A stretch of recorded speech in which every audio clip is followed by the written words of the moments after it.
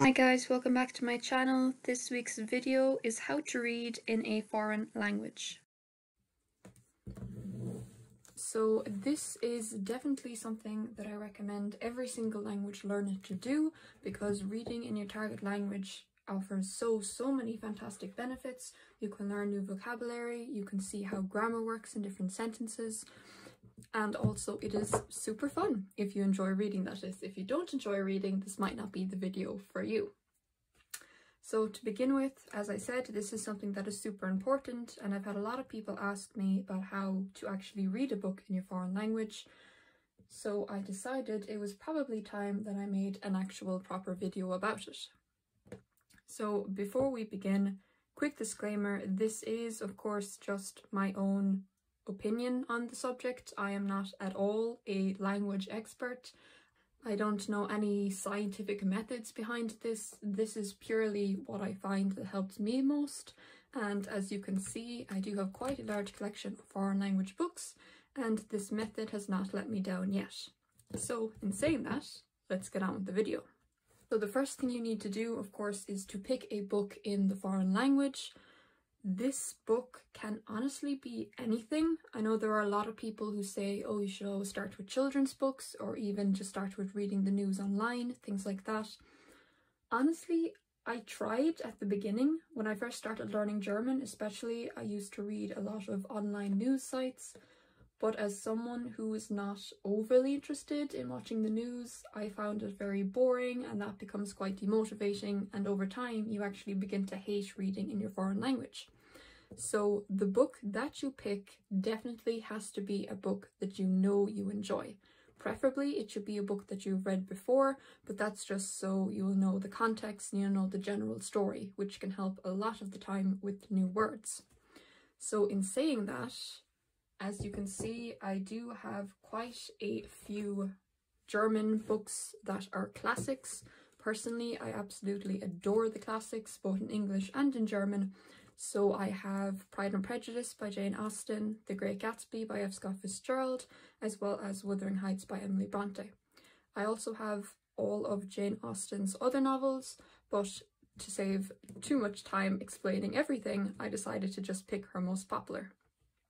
So if classics are not your thing, which of course is understandable because there are quite a few words in classics that are outdated even in English, let alone in a foreign language.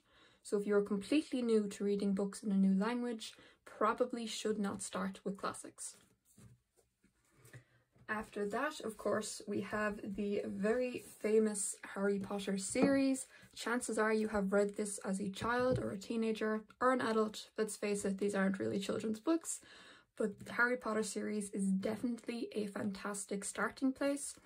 It is also my go-to book for every language that I learn. As you can see, I have the Harry Potter first book in Dutch. I also have it in French, and of course I have it in German. So Harry Potter is definitely a very good suggestion. You can find these books online a lot, definitely on Amazon, probably the book depository. I'm not entirely sure where else you can find them but the Harry Potter series is definitely a good option, especially if you love the series and of course if you have read it before. As well as that, other children's books are also super helpful, especially when you're starting out reading in a new language. And the children's book that I prefer to go to is The Little Prince by Antoine de Saint-Exupéry. This is it is a book that is meant for children, however it does have quite a few useful phrases in it.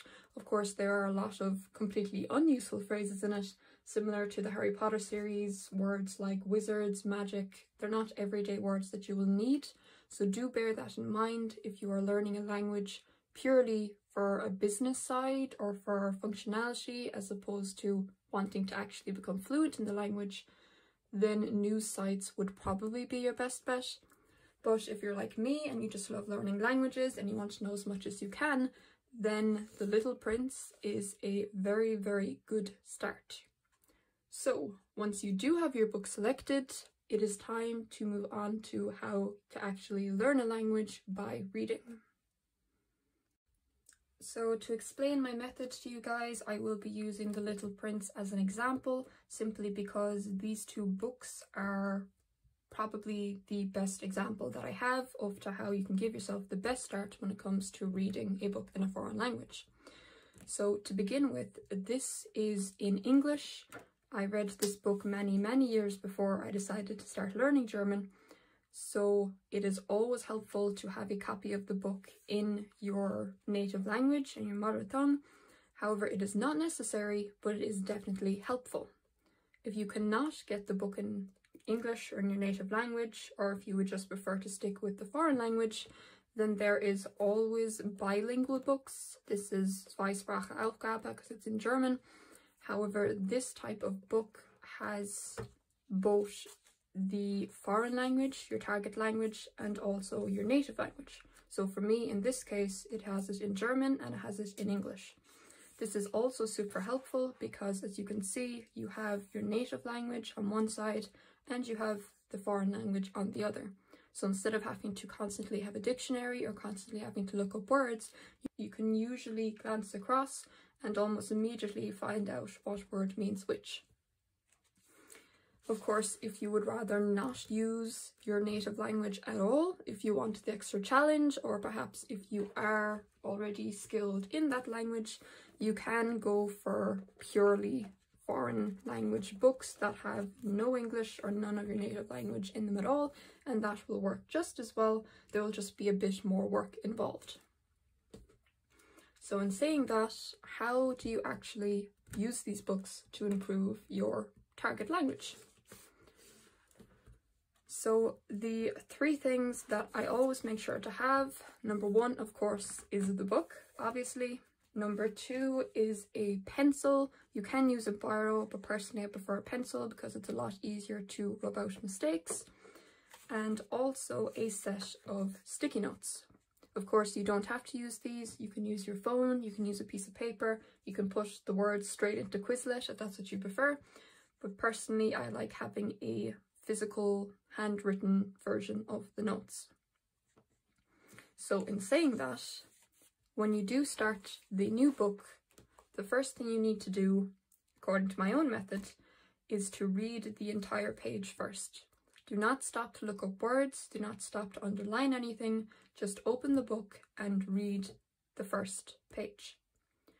From that, you can usually get a few words, you can get the context. If you're lucky, you might understand everything. If not, that is perfectly okay. You are just learning and we will get to that in a moment.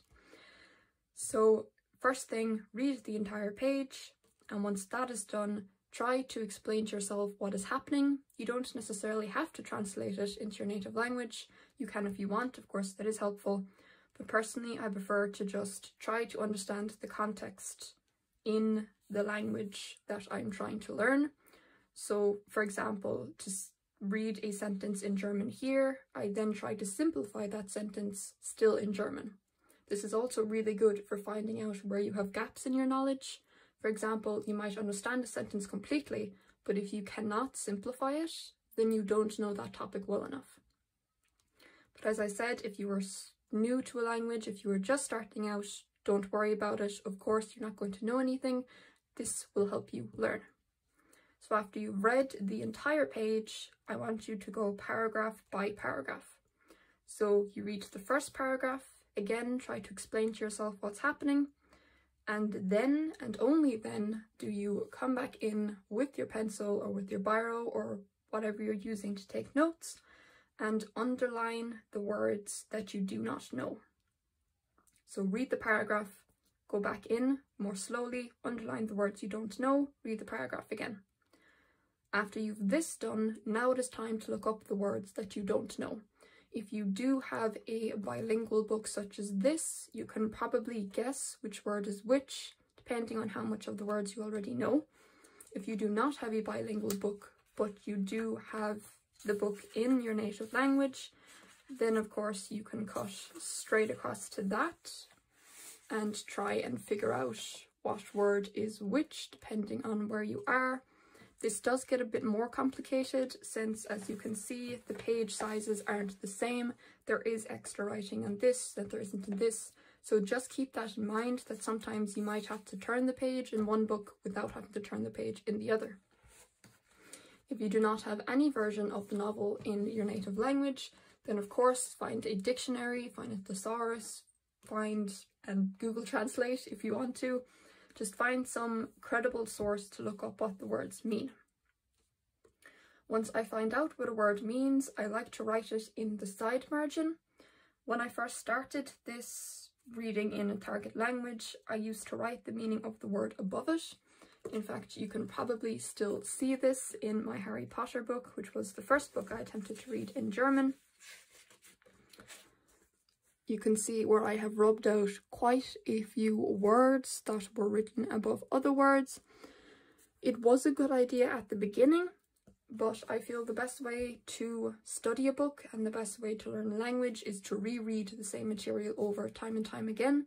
And as my language level improved, there were a lot of words in this book that I knew and that I didn't have to look up, but the simple fact that English was written above it automatically made me look at the English word. So while it may be a great idea at the beginning, when you do come back to rereading the book, you're going to have all the answers above all of the lines, and that is only going to be detrimental to your learning. So I now write the words in the side margin.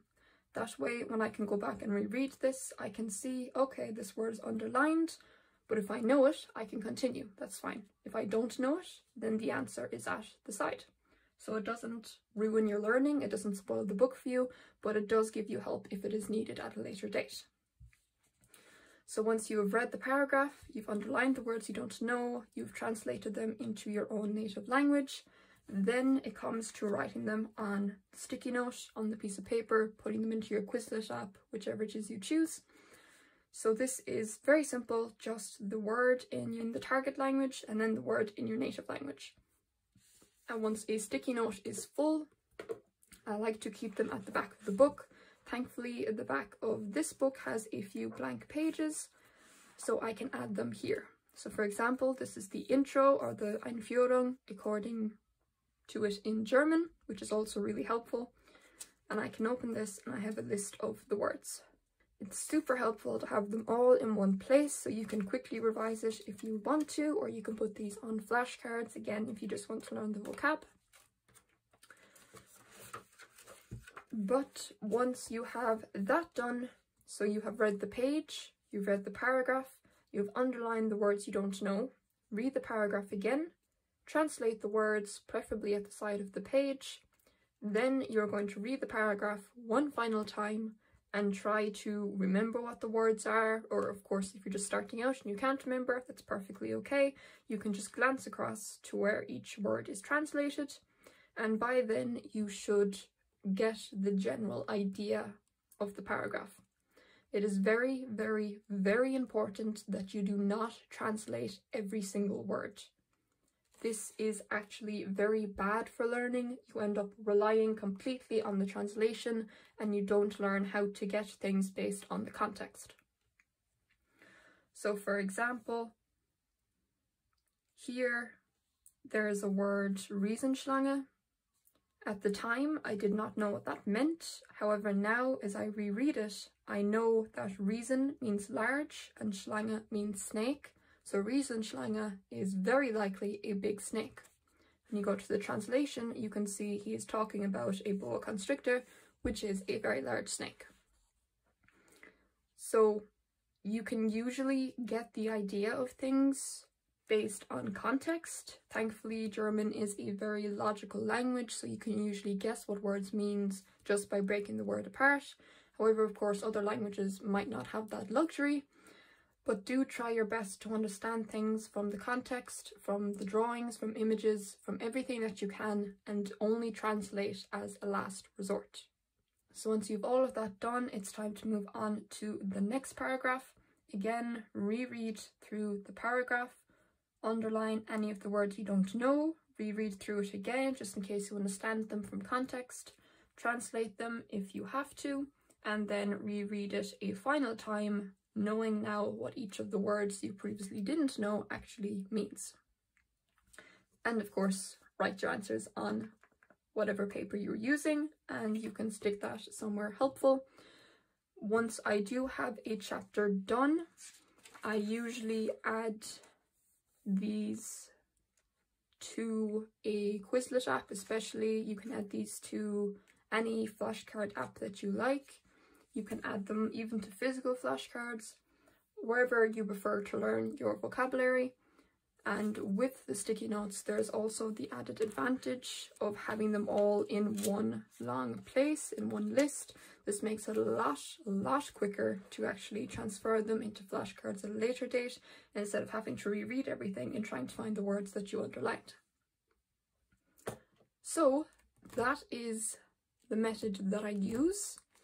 It does seem like it will take a long time. I know I have pretty much over-explained things.